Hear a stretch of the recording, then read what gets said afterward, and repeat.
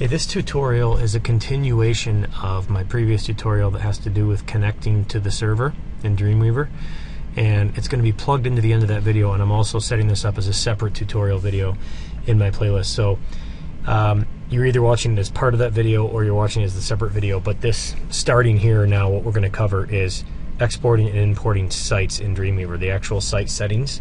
And in the process of that, we will discuss uh, moving sites from one version of Dreamweaver to another. So this could happen on the same machine, really, or just moving from one computer to another. So I'll actually be doing both. I'm gonna I have CS5 on one of my machines, and this is where I predominantly worked on most of my sites.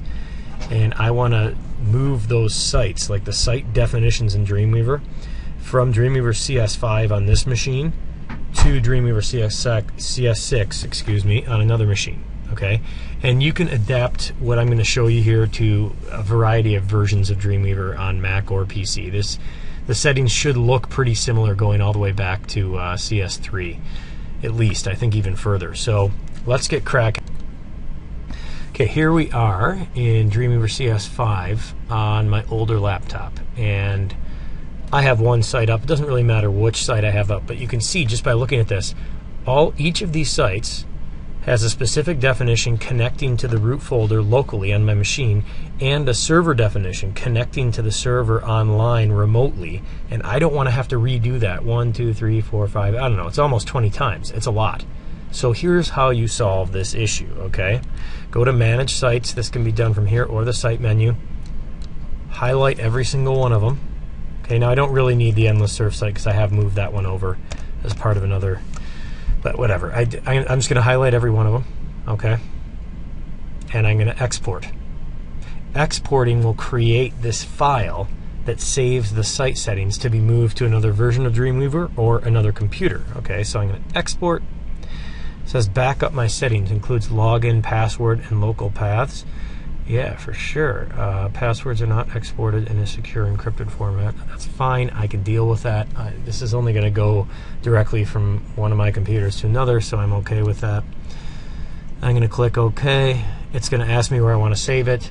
I have an external hard drive set up to handle this right now, so I'm going to go over there to the external hard drive. Um, actually, hang on, that's my SD card. Where's my external hard drive? Computer.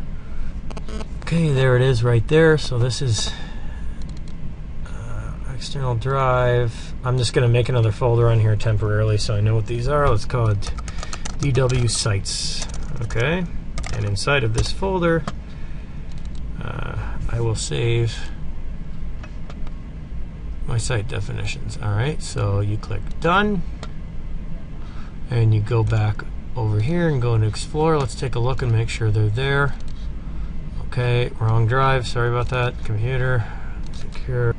Okay, so here I'm in the I'm in the FreeAgent drive where I saved them. DW sites. You can see they're STE files. Okay, STE files are Dreamweaver site files. Most programs aren't going to recognize that, but if you go into another version of Dreamweaver on this computer or another, you'll be able to import these exported site settings. Okay, so from here, I'm almost ready to transfer back to my other computer to put these sites in there so I can start predominantly using that one and then I don't really have to worry about the sites on this machine. The one thing I, I want you to consider, especially if you have a lot of sites on here that involve possibly some pretty um, uh, heavy content that might consume quite a bit of space, is to go to the folder, okay, where the sites are, and move the files from here instead of setting up all the site definitions on your computer and then remotely downloading all of the files from your server. That's just going to take way, way longer. Now, keep in mind, um, you do want the most updated versions of files. So, if you haven't updated these sites for a while, but you did from another computer, maybe you should download from the server. Do you understand what I mean by that? It's it's because you, you want the most updated files on your machine. But if, if you're the only ones that manage the sites anyway, these site files should be the most recent one. So instead of downloading them from the server, this is a faster way to do it. All right, so I'm going to take all of these, which is this is quite a few files here, and I'm going to highlight them. um, down, and then I'm going to copy them into my hard drive. So I'll do that while I'm on pause. You guys obviously don't want to watch all these files copying, okay? So it's pretty much everything in my sites folder because I have a sites folder on my other computer. So I want everything from this sites folder to move to the other computer. And because I've defined my sites in here to connect to a folder called sites, all lowercase, um, inside of my username, which is Sloan Mike, so it's the same on both computers, I won't have to fix that on any of my site definitions either if I move these folders over with the definitions. So it's one more consideration to make. It's, I mean, it's very, very simple to simply go to manage sites like we did, highlight all the sites, export them. But what about the files, right? Do you really want to go back and, and download all the files remotely? once you set up all the sites in there, I think that's just going to take too long. So while I'm on pause, I'm going to transfer all these site files. Okay, so now I've copied all those site files, which did take a while. It's quite a few files. Some of these have a lot of stuff in there, uh, but way faster than downloading from the remote server. So now I have my sites folder and I have my site definitions. So I'm going to eject this drive and move back over to my other computer. Uh, and what I did, just so you know, uh, check FreeAgent, I actually removed, well, I thought I did. Uh, oh, that's the FreeAgent drive. I actually removed them completely from this computer because if I'm switching, I, I really don't want to have multiple computers with different site definitions on them. I want to use one machine, so I don't really need this folder anymore. I just removed it completely, so there it's gone now. If I use Dreamweaver, uh, you know, to edit certain uh, sites in here, that's fine. Um, actually, if I ever need to use it to connect, I might still want to leave that folder in there just because, uh, just because you know, so if I refresh now, it's going to be an empty folder. Well, the root folder's gone, but um, yeah, maybe I'll go back through and clear all those out. It depends on depends on the capacity to which you want to still keep using uh, your computer. Um, yeah, hmm, I did remove all those folders. Uh, I'll deal with that later. I'm just going to move the hard drive over to my other machine, and then I'll start recording there. So I will see you in a second. Okay, so now I have moved to my other machine, and there would be a lot less copying if I was just simply transferring the site definitions from one version of Dreamweaver to another. Uh, in this case, the example I'm showing you, I'm transferring all of the site files and the site definitions from one computer to another and from CS5 to CS6. So I've plugged in my hard drive, uh, which is right here.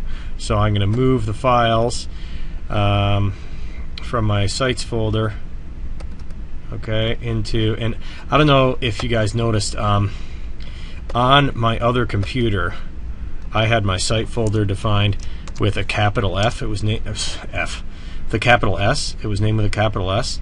So that means that if I want those site definitions to work to access the same folder in the same user folder on a different computer I have to have the folder name identical over here as well so I'm just going to quickly fix that before I copy all of my site files into this folder. So that's one step, extra step I have simply because I wanted to move it from one computer to another. So I'm going to go rename. I'm going to go here and put a capital S there because as you know, setting up Dreamweaver sites, the folder name has to be identical and, and it is cap sensitive. So I've now matched that to the folder that I had um, over on my other machine. And on my hard drive and this machine, I named it with a small s, but I just changed that one because it was a capital S. So uh, I don't want to just replace one with the other because I do have some site files in here already.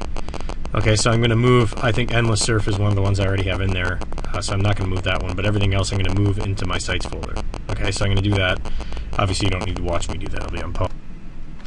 Okay, so now back on, on, this computer, that would have been the first step, is, is moving all these site files in here. And as I've mentioned several times, you would have had the option, if you're already connected to the server, or if you make the connection, to just download the files, but you'd still need all these folders created because otherwise when you import the site definition from the other machine into this machine, into the new version of Dreamweaver, it's going to be looking for all these folders as part of the site definition and they won't be there in this same named folder in this same place on this computer. So that's why I moved them all as well, is just to make things a little simpler that way. Uh, so now, for the easy part, to bring in the sites in Dreamweaver, and as you know, I have a bunch of them, uh, but you might only have one or two, and you're just trying to save yourself the trouble of having to redefine the site and the usernames and the passwords and all the all the FTP login stuff. You go into, now we're in CS6 again, so we go into Manage Sites, and we go Import Site, and we're going to go to the folder on the hard drive where I have all those sites ready to import, all the STE files that we saw uh, a few minutes ago. Okay, we go to computer, we go to my hard drive where I have those files.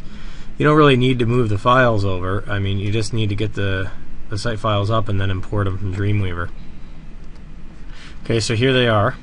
I'm going to highlight all of them in that folder, and I'm going to open all of them. So it, it unless I'm mistaken, and this is different now, this should import all of the sites, and that's what it appears that it's doing. Bam, bam, bam, bam, bam, bam, bam, bam, bam. Uh, oops, yeah, I didn't mean to import that one because I already had that one. Remember I'd mentioned that before. So look, Dreamweaver's so smart, it even uh, solves the problem for you. Endless Surf 2 I'll just get rid of once they're done importing sites. Uh, yeah, sure, here, just make it I don't want it to stop the process, so I'm just going to connect to whatever, anything on the computer, and then it'll keep going. Um, okay. Okay, and there we go, all done. So it took all the sites from my other machine, put them in there, and even though it was a different version of Dreamweaver, I go in here now, you can see all of my sites, and I am going to go to Manage Sites and get rid of Endless Surf 2, because I already had that one in there, and that's I'm glad that actually happened. That's a good example of how friendly Dreamweaver is. And to delete the site, right there, get rid of it. Okay. So let's click on one of the new sites and make sure it worked. Okay, there's uh, there's that site. Okay, which should connect to the folder called RuthSat now in my sites folder, and it did, and it worked. So, and that's one of the keys because when you have a site, as you all know now, because you've already done this in a previous tutorial that I've had, um, the first thing you do is define the place in the computer where that site is located. Okay, I set up the same place on this machine to go to the folder called sites and then go to a folder by the same exact name so I wouldn't have to deal with that. And then this is still in there without having to redo it I hit test, everything works great. I just transferred almost 20 sites without having to redo the site definition uh, and the remote server connection for any of them. So there you go. And that's it for this tutorial. Um, and you're either watching this as part of the as part of the uh, part of the full server connection or just the exporting and importing sites connection either way you cut it, you can see that that process is quite simple. So if you ever set up, end up setting up a lot of sites in Dreamweaver and then you have to switch computers or something, not a big deal. And I've just shown you how. So I will see you guys in the next lesson.